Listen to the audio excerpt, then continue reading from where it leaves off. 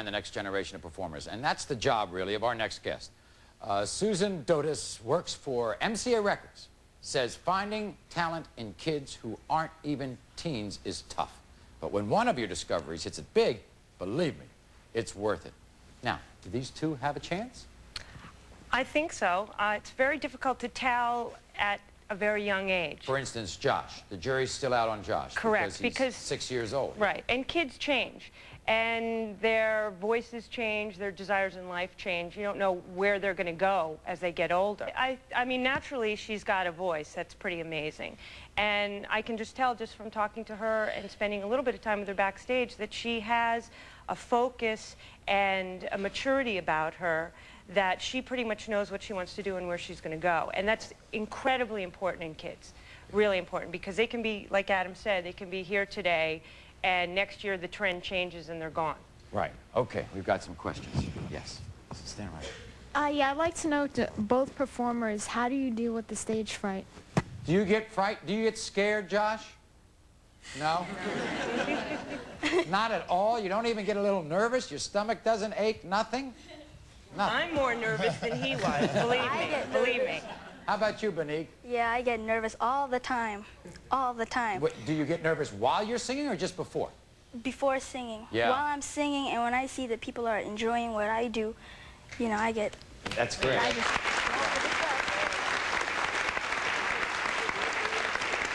You, you watch a lot of MTV, don't you, Banig? Oh, yes, I do.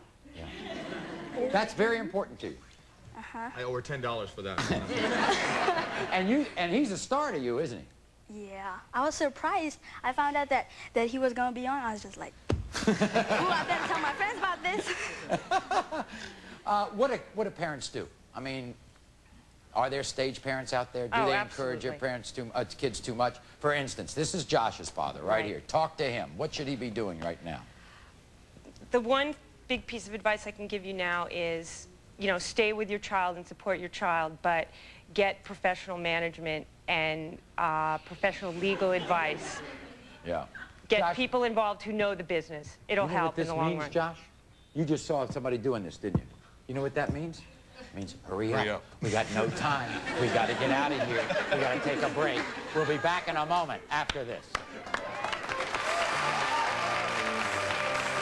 Performing for your friends and for your school? Right. What about that, Banig? You have a lot of friends? Uh-huh. Go to regular school? Uh -huh. You go to regular school, Josh?